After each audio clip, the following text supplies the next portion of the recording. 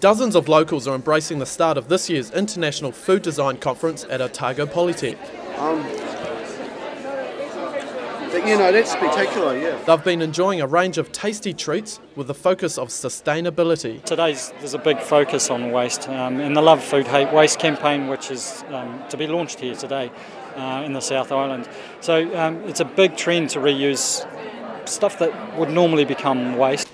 It's set to be a busy week for Otago Polytechnic's food design students who are preparing a lot of meals, not only for today's event but several others. They're happy to have the chance to try out new and different ingredients. So we're utilising things that people don't really want to use, things are, that are considered nasty to use, and we've developed and created them into something that's delicious. Ingredients like pasta have been ground up and made into crackers, while cauliflower is used to make pesto. The bite-sized treats went down a hit, with everyone enjoying the new flavours. Oh, it's, it's lovely. You wouldn't know that it was from the waste or uh, leftover bits. Yeah, no, they've been. Oh, it's great. I think uh, someone's been very creative with a whole lot of unusual offcuts. You've used waste bread too? Yes, yeah. Fantastic, really good.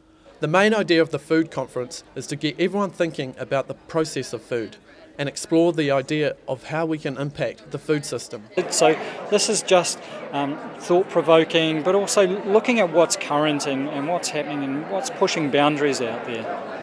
The event will run until Friday night with a variety of workshops and lectures by a number of notable food design experts. Henry McMullen, 39, Dunedin News.